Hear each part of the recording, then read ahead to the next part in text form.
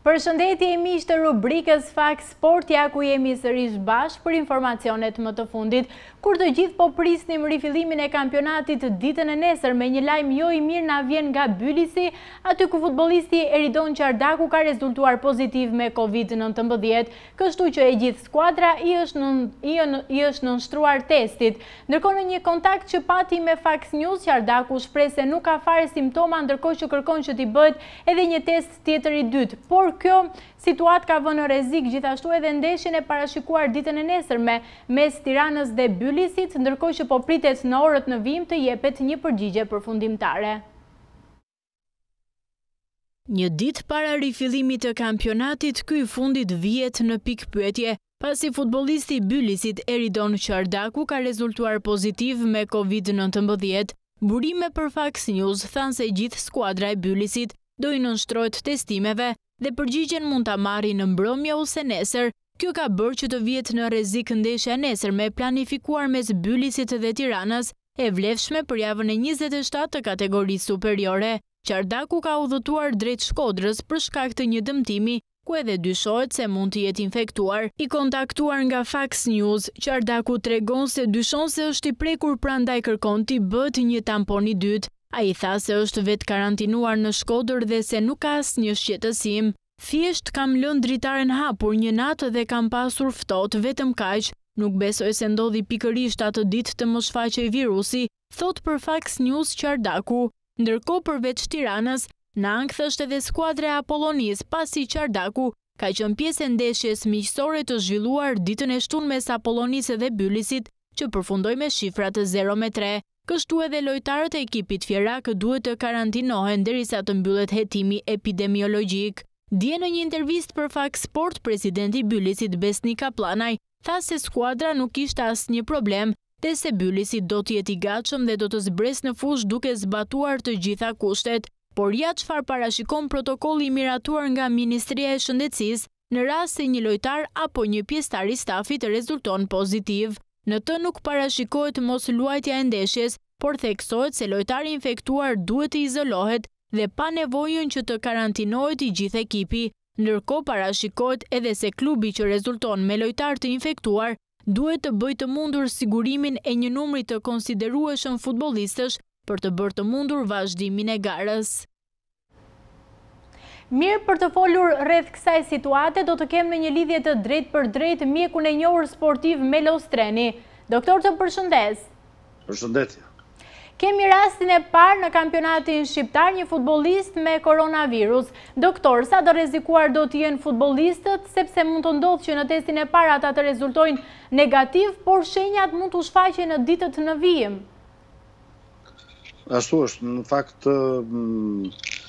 testi që ka dalë pozitiv për vetëm një lojtar mundet që ai të ketë infektuar dhe të tjerë sepse duhet të kemi parasysh periudhën e inkubacionit, domethënë periudhën e fshehur të sëmundjes, ku virusi pastaj jep shenjat e para, që shkon nga 7 deri në 14 ditë, kështu që presupozohet që Qardaku mund të mund të ketë pasur kontakt me një njeri të smurë këtu e dy javë përpara maksimumi. Kështu që praktikisht gjatë këtyre dy javëve duhet parë nga epidemiologët se ku ai ka qëndruar. Domethënë, ka qenë me të gjithë ekipin në stërvitje së bashku me ta, sepse mjafton që ai të ketë qenë në dhomat e zhveshjes, në dushe, apo dhe në hotel edhe në restoran bashkë me ta, apo të ketë pirë kafe bashkë me ta, se në këto moment të gjitha skuadrat janë gjysëm të grumbulluara, kështu që jetojnë në kolektivitet, pa çka se rregullorja e ka që çdo futbollist të rrijë në një dhomë të veçantë. Nuk besoj se aplikohet kjo tek të gjithë, për shembull tek Kukësi ku unë jam konsulent është aplikuar sepse janë në Elbasan dhe në hotel janë sistemuar secilin në në një dhomë. më vete, por nuk dihet tek Bylisi se ç'ka ndodhur, kështu që praktikisht aq më tepër që për këto katërmbëdhjetë ditë duhet parë lëvizjet e lojtarit në fjalë, i cili mund të jetë ulur siç janë ulur të gjithë. Ja, unë ne jemi dëshmitar në në Tiranë që as maska nuk ka, as distanca fizike me njëri tjetrin që është një metër e gjysmë dy metra nuk zbatohet, kështu që praktikisht është është një pikëpyetje e madhe.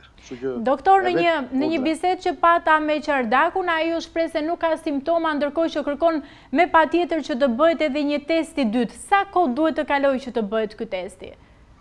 Ta themi për një gjë të qartë. Po. Futbollistët që janë moshë e re, e kalojnë në mënyrë asimptomatike. Domethënë, edhe pa temperaturë, pavarësisht se e përmbajnë virusin brenda dhe mund të jenë shkak për të infektuar të tjerët.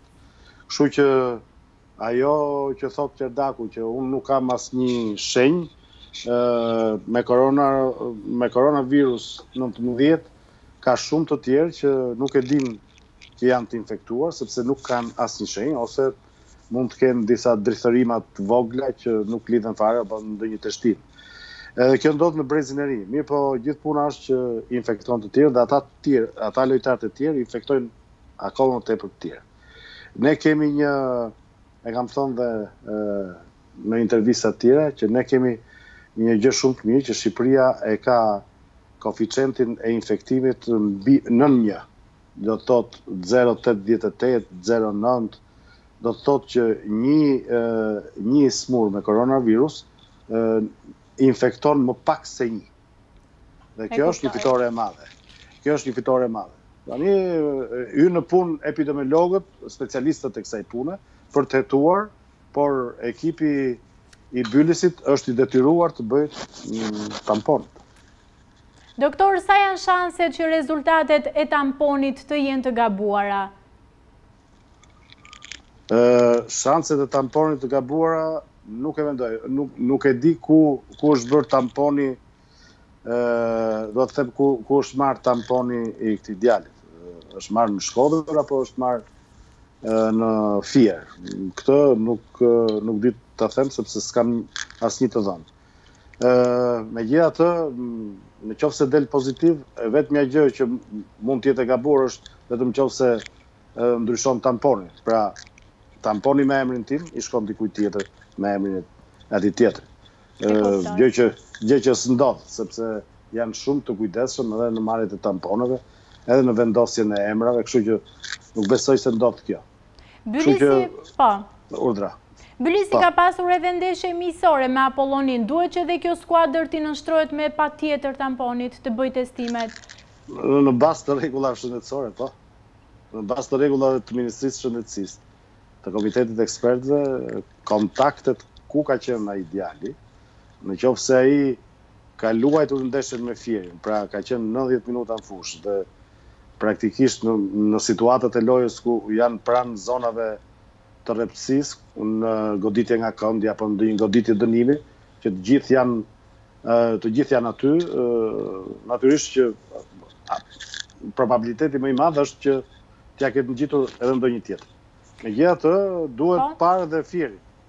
Duhet parë dhe Fieri. E kuptoj. Apolonia e Fierit. Në raste të tilla, protokollet sanitare parashikojnë që në rast se një futbollist um, del pozitiv me COVID-19, atëherë duhet të karantinohet vetëm ai dhe jo e gjithë skuadra. Në qoftë se rezultojnë edhe më shumë futbollistë, atëherë uh, klubi duhet të bëjë të mundur që me futbollistët që ka në gjendje të mirë shëndetësore të vijojë garën, pra mos të prish garën. A mund të realizohet kjo pikë në Shqipëri, doktor? E vështirë të realizohet, megjithatë asnjë gjë s'është e pamundur. Gjithë puna, gjithë puna është që bashkëjetesa me lojtarët e tjerë, tek Ballshi, i këtij lojtarit, i Çardakut, të detyron që të bësh tamponët në vazhdim për gjithë ekipin.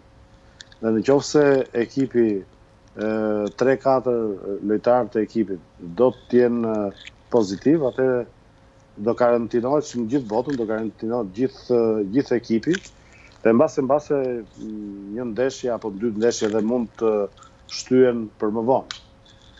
Nuk e di këtë e marrin organet kompetente, jo federata, po komiteti i ekspertëve e shumë e shumë hallka të tjera të sistemit të hetimit epidemiologjik. Kështu që po. nuk është në dorën, nuk është në dorën as të federatës dhe as të drejtuesve Ballsh. Doktor, sipas jush, nesër ndeshja Bylisi Tirana duhet të luhet? Nesër, simbas meje, duhet të luhet, po pastaj do të bëhet një hetim në tapet, do të thotë një hetim i gjerë, për të parë se kush është infektuar dhe kush jo, sepse ë minimumi i një përgjigje tamponi është të paktën 72 orë, 3 ditë.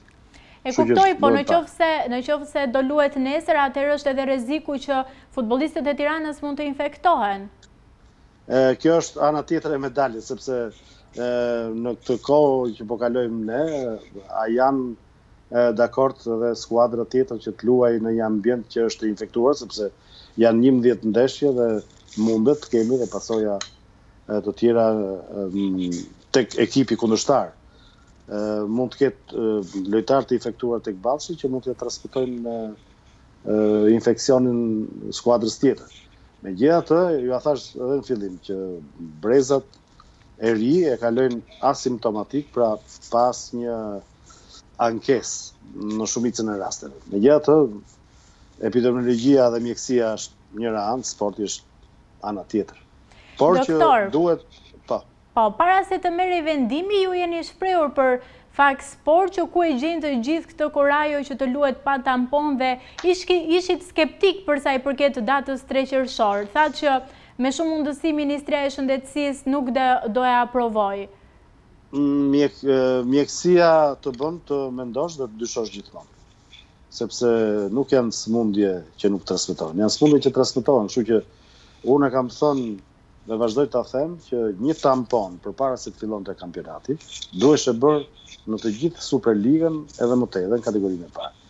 kështu që nuk nuk e nuk e shikoja pse s'duhej bërë. Sepse edhe mjetet janë Instituti i Shëndetit Publik ka mjete tashmë për të hetuar, tampon ka. Nuk është se jemi në fillimet ku mungesat ishin të mëdha, tani jemi të përgatitur për pandeminë, kështu që praktikisht duheshin marrë sepse praktikisht lojtarët bashkë me stafet, çdo skuadër ka nga 30 vet, të paktën në Superligë ishin gati 300 persona, të cilët duhet të merrshin tamponët për herë të parë. Pastaj çdo gjë bën vaki te kategoritë e tjera mund edhe të shtyheshe kampionati sepse nuk janë të lidhur me kupat e Europës. Po të paktën në Superligë ku UEFA kërkon patjetër mbylljen e kampionatit, atëherë si në gjithë Europën edhe ne duhet të kishim duhet të kishim marrë një masë që të paktën minimumi të ishte bërë një tampon se ja del dhe ne nuk dim tani se si të sillemi. Sepse është dhe komiteti i ekspertëve që do japi okejn për për këtë gjë. Domethënë mund të bëjmë dy hapa mbrapa, një hap përpara, Unë uroj që mos të ketë reperkusione të tilla, megjithatë është një kambanë alarmi. E kuptoj. Doktor, ju falenderoj shumë për intervistën. Faleminderit juve. Të përshëndes. Ju pas. Mirë kalojmë te të tjera informacione në prag të ndeshjes ndaj Bylisit ka folur edhe trajneri i Tiranës Emanuel Egbo ai u shpreh se do të presin vendimin e federatës për të parë në qoftë se do të luhen ndeshjet nesër ose jo, ndërkohë që pranoi se futbollistët janë të frikësuar. Sa i përket çështjes së titullit, trajneri tha se janë edhe dhjetë ndeshje në lojë dhe janë tridhjetë pikë për t'u marrë. Në prag të sfidës ndaj Bylisit, trajneri i Tiranës, Emanuel Egbo u ndal në situatën e krijuar pas lajmit se futbollisti i skuadrës ballshjote, Eridon Çardaku ka rezultuar pozitiv me koronavirus. Ai tha se lojtarët do të kenë frikë dhe se po presin vendimin e Federatës. Normal po presim vendimin e Federatës se me sa dimë ne si klub është bërë testet gjithë ekipi i lojtarëve Ballshit dhe presim përgjigje se si do dali. rezultatet e testeve, e pastaj do do mendo, do dimë ça ça ça do do bëhet. Sepse në qoftë se kapen më shumë se ai që e ka, e bie që normalisht nuk nuk e vendos, ne, vendos korona se nuk s'ka shans të të luhet ndeshje. Janë tridhjetë pikë në lojë dhe do të luftojmë deri në fund, u shpreh trajneri i bardhebluve. Duke e konsideruar çdo takim si një finale. Do marrim, vazhdojmë të marrim ndeshjen tona një nga një, deri në një, një moment të dytë që do do do në qoftë se e sigurojmë matematikisht, atëherë do fillojmë të flasim për titullin kampion. Deri tani do marrim ndeshjen tona një nga një. Unë kam parë, e kam dëgjuar edhe shpesh disa njerëz që ka thënë Tirana ka fituar kampionatin, edhe këtë e kam e kam përmendur edhe te lojtarët, edhe lojtarët ka janë koshient që Akoma ka ka tridhjetë pikë në lojë, ka dhjetë ndeshje. Ndërkohë situata te Bylisi nuk e ka trembur trajnerin Veljko Dovedan, i cili është shprehur i bindur për një rezultat pozitiv ndaj bardhebluve. Partizani do të ketë nesër një ndeshje aspak të lehtë ndaj Skënderbeut, ndërkohë që në prag të kësaj sfide, trajneri i të kuqve, Adolfo Sormani u shpreh se do të ketë mjaft dëmtime dhe sipas tij do të jetë absurde të thuash se ata janë në formë. Gjithsesi për ta objektiv mbetet Europa, ndërkohë që komentoi edhe çështjen e titullit kampion. Partizani do të përballet nesër me një kundërshtar aspak të lehtë siç është Skënderbeu. Në prag të kësaj sfide për mediat ka folur tekniku i të kuqve, Adolfo Sormani, i cili është shprehur se në situatën që ndodhemi, nuk mund të bëhen parashikime, duke shtuar se objektivi i Partizanit tashmë është Europa. Tani ka ndryshuar gjithçka.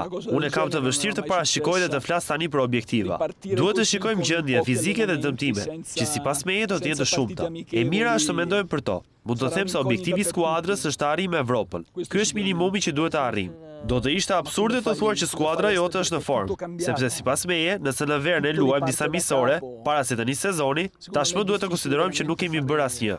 Intensiteti do të jetë i ulët sipas trajnerit Sormani, por ndaj korçarëve do të luajnë për trepikëshin.